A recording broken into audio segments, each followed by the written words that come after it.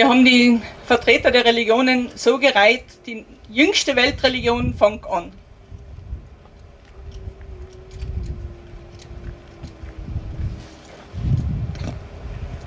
Ja, ich stehe hier für die jüngste Weltreligion, für die Bahai-Religion, für jene Religion, die die Völker der Erde wie Blätter eines Baumes sieht, wie Strahlen einer Sonne oder wie Blumen eines Gartens, für die die Erde nur ein Land ist und alle Menschen seine Bürger sind.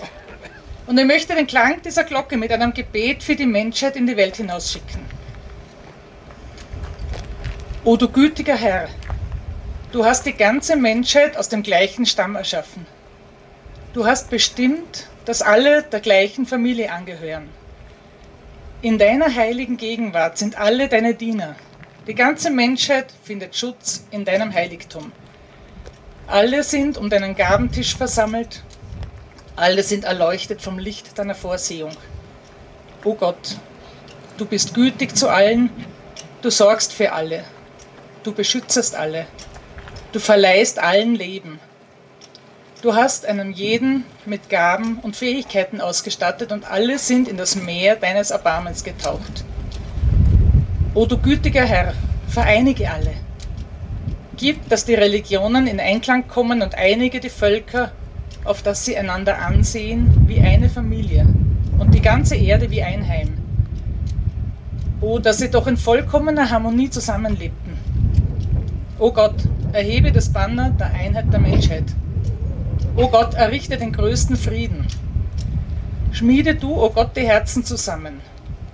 O du gütiger Vater, Gott, erfreue unsere Herzen durch den Duft deiner Liebe. Erhelle unsere Augen durch das Licht deiner Führung. Erquicke unsere Ohren mit dem Wohlklang deines Wortes und beschütze uns alle in der Feste deiner Vorsehung. Du bist der Mächtige und der Kraftvolle.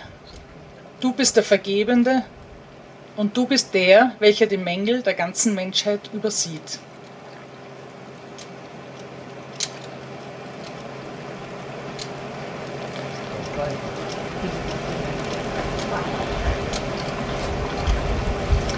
Der nächste Vertreter ist der Baha aus Palästina, aus Bethlehem. Und er vertritt heute die ganze muslimische Welt. Sicher werde das auf Arabisch sagen und dann, wenn man die Frage hat, dann später machen wir. السلام اسم من أسماء الله الحسنى وهو مأخوذ من السلامة ومعناه أن الله جل جلاله ذو سلامة أي سلمت كل صفاته وأفعاله من كل عيب ومن كل شر. ومنه اطلق على دين الإسلام من السلام أي نشر المحبة والإيمان بين البشر. السلام هو الأم المرضعة لكل بلد. السلام قيمة إنسانية عظيمة. فأن تكون في سلام مع الآخرين فأنت سلام مع نفسك. وأن تكون في صراع مع الآخرين فأنت في صراع مع نفسك. واختتم القول بقول الشاعر الفلسطيني محمود درويش وأنت تخوض حروبك فكر بغيرك لا تنسى من يطلبون السلام فليعم السلام في أرض السلام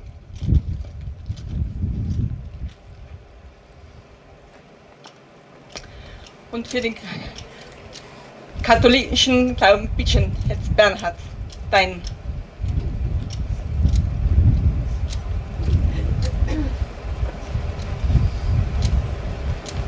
Vertreter des ganzen Christentums halt, gell?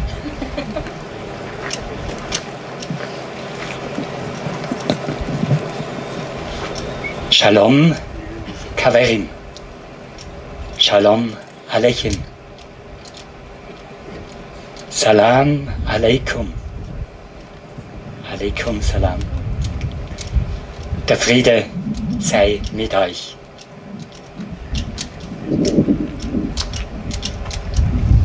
Das Wort Friede im Jüdischen, im Arabischen, auch in unserer Sprache für Christen die gleiche Wurzel. In diesem Wort begegnen sich die Menschen. Ich kann nicht Hindi, nicht asiatische und indianische Sprachen, aber wir sind heute mit Ihnen hier verwandt. Schön, dass ihr heraufgeschwitzt seid, heraufgekommen seid. Elisabeth, danke. Du hast gesprochen von himmlischer Geduld. Elf Jahre. 700, 76 Rückschläge, 777 Wiederaufbrüche. Ich habe selber manchmal nicht mehr ganz dran geglaubt, dass es gelingt. Danke für deinen langen Atem, danke für deine himmlische Geduld.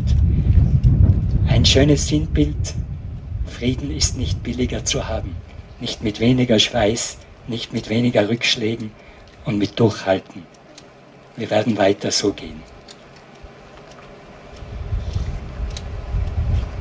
Wir hören die große Vision von der Völker, vom Mahl, das Gott allen Völkern bereiten wird. Die Vision, die gilt für Juden, die gilt für Christen, die gilt für alle Völker. Aus dem Propheten Jesaja.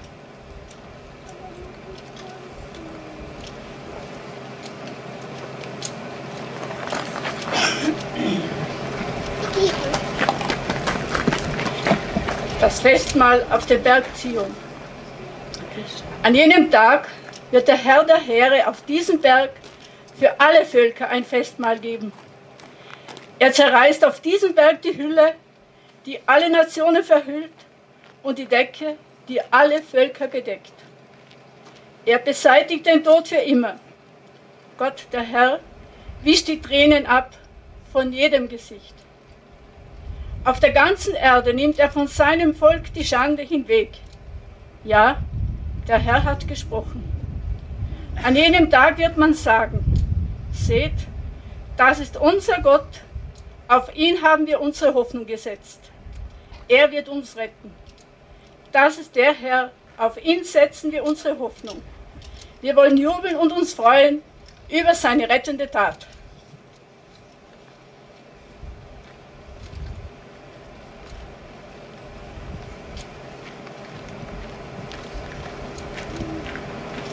Ich lade jetzt ein, dass wir ein Stück bewusst aufschauen zu diesem einen Gott aller Völker und aller Religionen. Dass wir jeder im Herzen bittet, diesen Gott um Frieden und Freundschaft unter allen Völkern, Religionsgemeinschaften, allen Menschen. Es ist gut, so zu beten, wie es der eigene Glaube zutiefst eingibt, in der Offenheit für alle.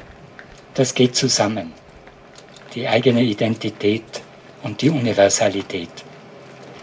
Ich lade ein, dass wir in einer Stille jetzt nach oben blicken. Ein jeder mit dem Namen für Gott, den er hat und sie hat. Und wenn ich dann das Vaterunser anstimme, so ist es das christliche Gebet, das aber gilt für den einen Vater aller Völker und für den Frieden aller Religionen und aller Völker.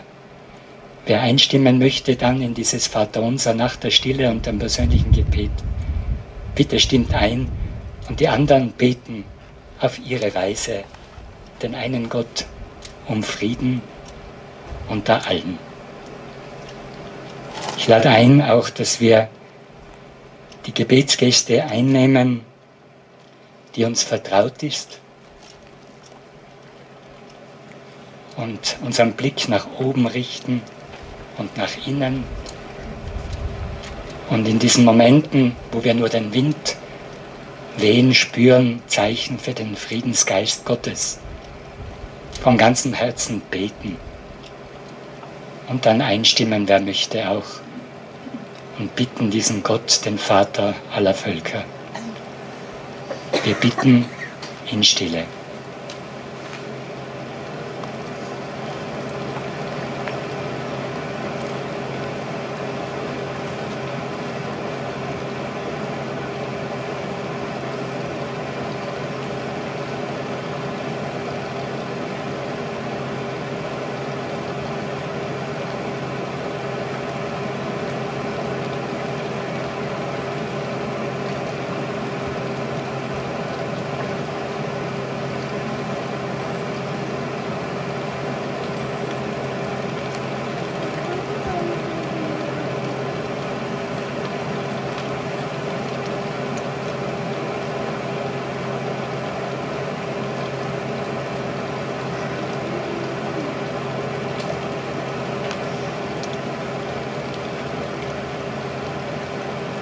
Zu dir, dem Ursprung des Lebens und des Universums, zu dir, dem Ziel des Universums und aller, zu dir, dem Geheimnisvollen, der du die Fülle des Lebens bist, zu dir, der du Friede bist für die allen. Zu dir beten wir, Gott, Vater aller Völker aller Schöpfung. Vater unser im Himmel, geheiligt werde dein Name, dein Reich komme, dein Wille geschehe, wie im Himmel, so auf Erden. Unser tägliches Brot gib uns heute und vergib uns unsere Schuld, wie auch wir vergeben unseren Schuldigern. Und führe uns nicht in Versuchung, sondern erlöse uns von dem Bösen. Denn dein ist das Reich und die Kraft und die Herrlichkeit in Ewigkeit. Amen.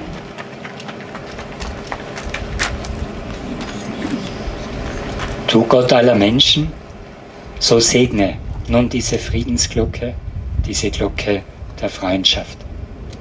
Gib, dass der Klang jeder Glocke uns zu Paten macht, Paten des Friedens im Kleinen und im Großen, im eigenen und für ein bestimmtes Land. Du mach aus uns Werkzeuge des Friedens. Du lass uns immer tiefer hineinfinden zu dir, zu uns selbst und zu den Menschen.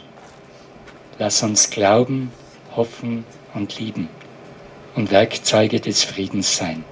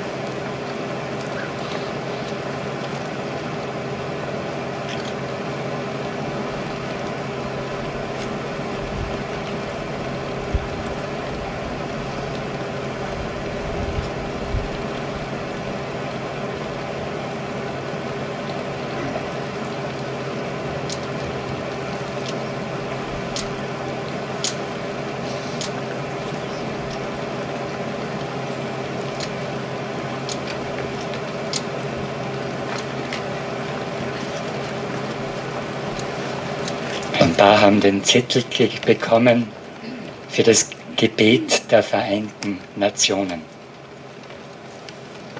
Vor dem ersten Anschlagen der Glocke beten wir es gemeinsam, vielleicht ein bisschen zusammenschauen, wo es möglich ist.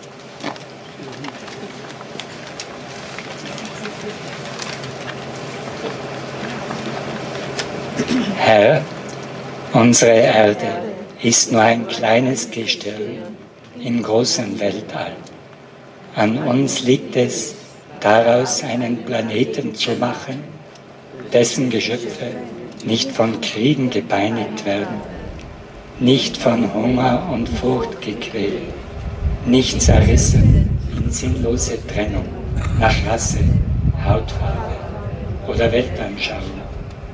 Gib uns Mut und die Voraussicht, schon heute mit diesem Werk zu beginnen, damit unsere Kinder und Kindeskinder einst mit Stolz den Namen Mensch tragen. Elisabeth, darf ich dich bitten, den ersten Klang der Glocke anzuschlagen. Also möge Friede und Freundschaft sein auf der Welt.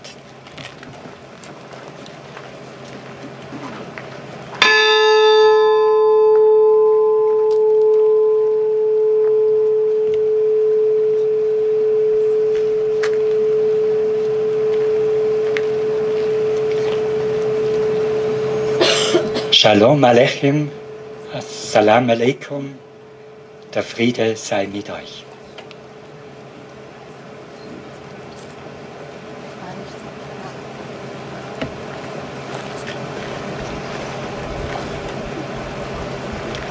Je sonne cette cloche pour la paix et l'amitié sur la terre.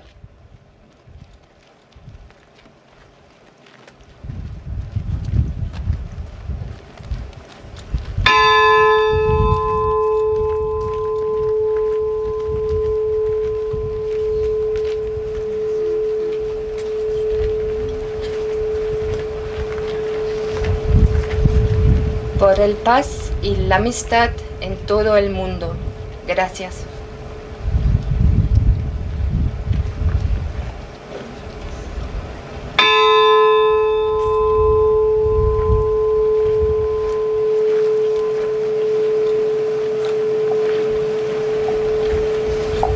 Auguriamo pace e fratellanza su tutta la terra.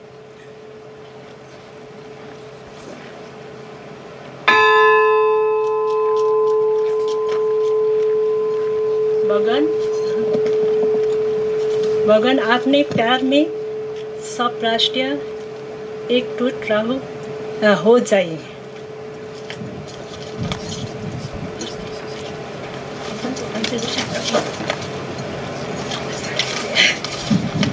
हो जाए प्यार के साथ, you you बढ़ने के लिए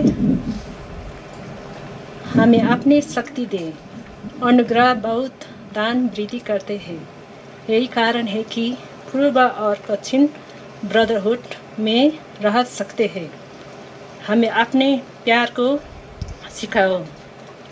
हमें अपनी शक्ति सिखाओ। यही कारण है कि खुश लंबी है लंबी हो सकती है और खुशी वृद्धि के लिए हम सभी राष्ट्र एक बनने के, के लिए काम करने के लिए मदद कर सकती है। धन्यवाद भगवान। ओम नमः शिवाय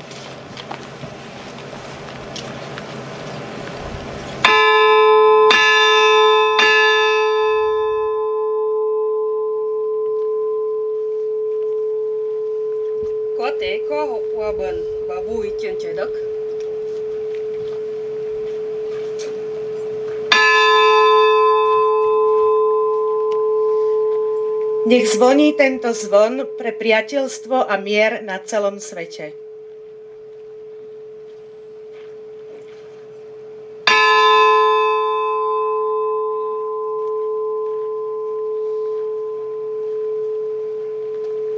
pela paz e justiça e amor nesse mundo.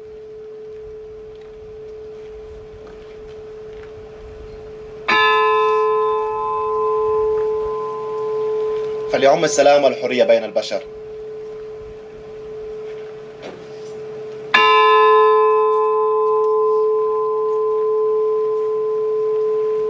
Amani na upendo uenee duniani kote. Amina.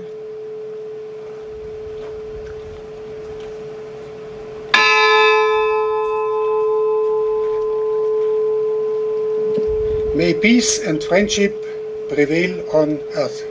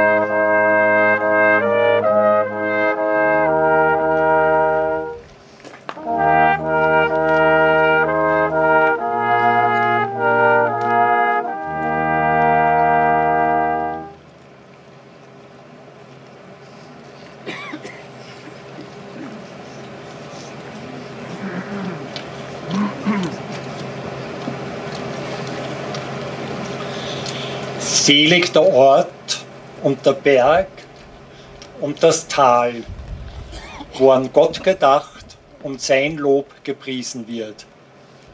So heißt es in einem Gebet und ich glaube, das können wir heute alle spüren.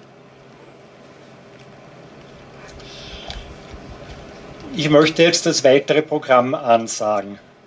Zuerst wird Frau Marianne Horling aus Bonn uns die Grüße der United Religions Initiative, der UNO, aus ganz Europa überbringen. Sie ist im Europavorstand dieser Initiative.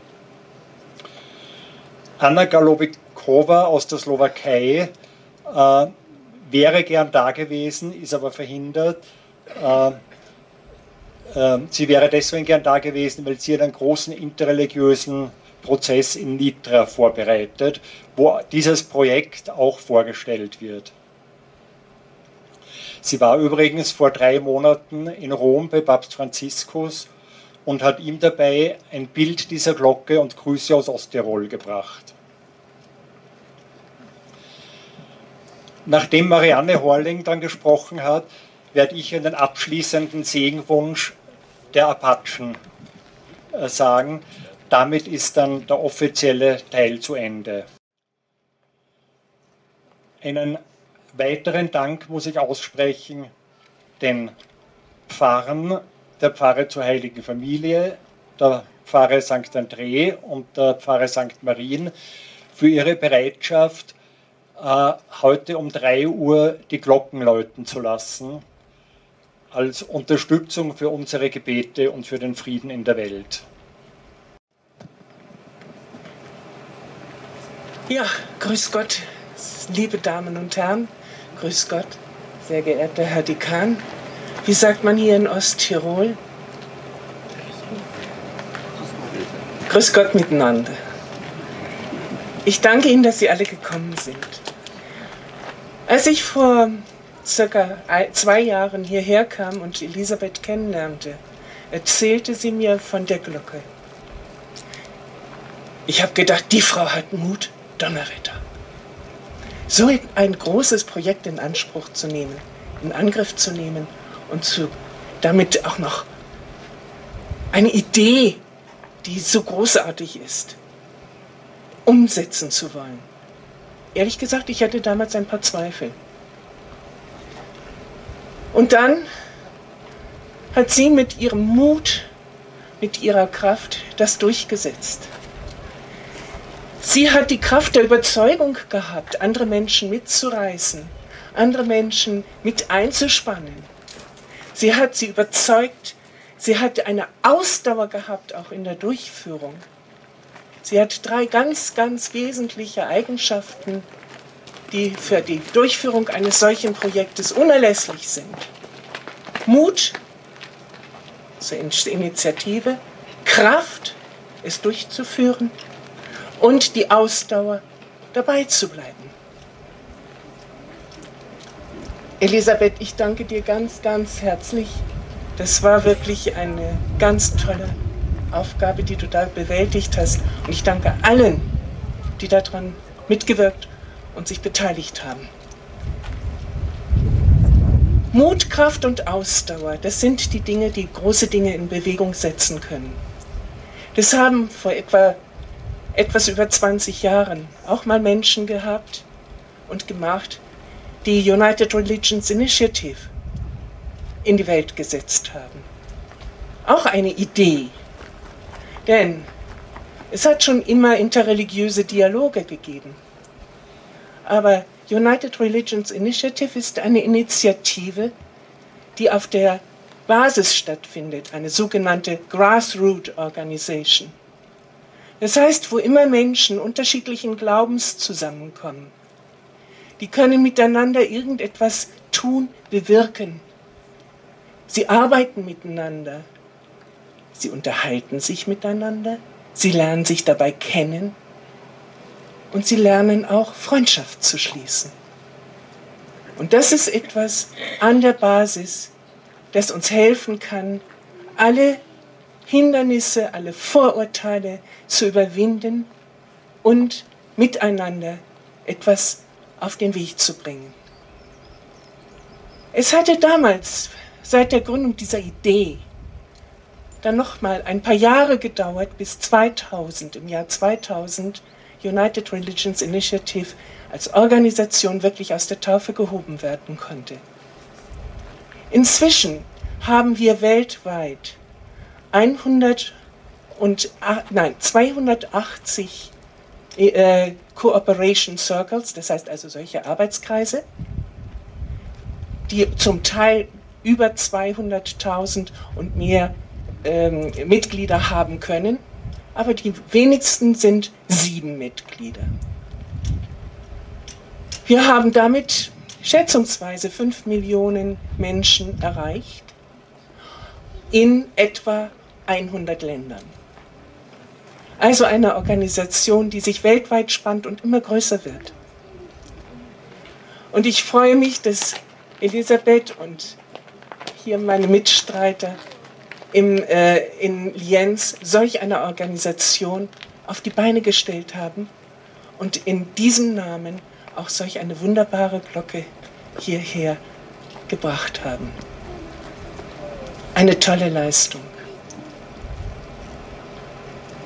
Auf dieser Glocke steht für Frieden und Freundschaft. Ja, Frieden ist etwas doch sehr Abstraktes. Frieden kann auch ein Status quo sein. Frieden kann auch sein, ja, ist in Ordnung, alles ist friedlich. Freundschaft, Freundschaft ist mehr. Freundschaft ist aufeinander zugehen, jemandem die Hand reichen, zuhören, lauschen, annehmen. Auch das, was uns fremd ist, zu akzeptieren, zu respektieren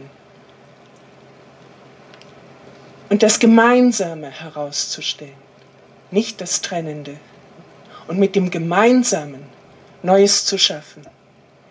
Deswegen freue ich mich so sehr, dass auf dieser Glocke nicht nur Frieden steht, sondern auch die Freundschaft. Und beides muss erarbeitet werden.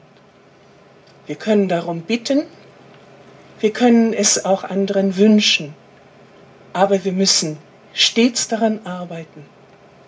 Und immer wenn wir diese Glocke schlagen, sollten wir uns daran erinnern, dass wir, wir selbst daran teilnehmen, dass wir daran arbeiten, dass wir die Hand reichen, dass wir aufeinander zugehen, dass wir Freundschaft bilden. Und das wünsche ich euch allen. Ich wünsche euch Freundschaft, Liebe, Anerkennung und ein friedliches Miteinander. Danke.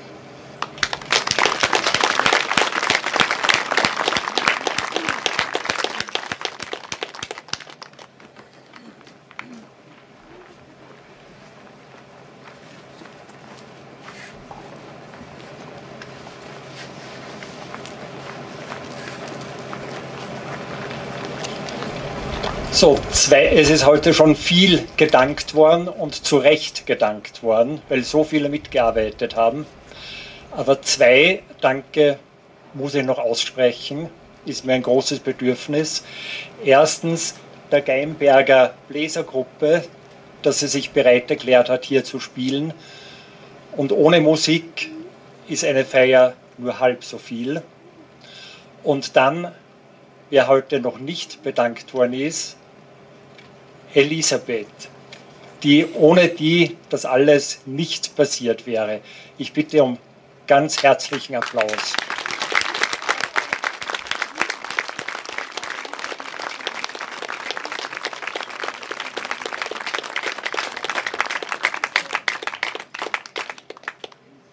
Und nun für euch alle und uns und den Turm ein Segensgebet des Indianerstamms der Apachen. Möge die Sonne euch jeden Tag neue Kraft bringen. Möge der Mond euch in der Nacht gesund machen. Möge der Regen eure Sorgen abwaschen. Möge der Wind neue Stärke in euer Sein wehen. Und mögt ihr sanft auf der Erde wandern, ihre Schönheit erkennen, an jedem Tag eures Lebens. Amen.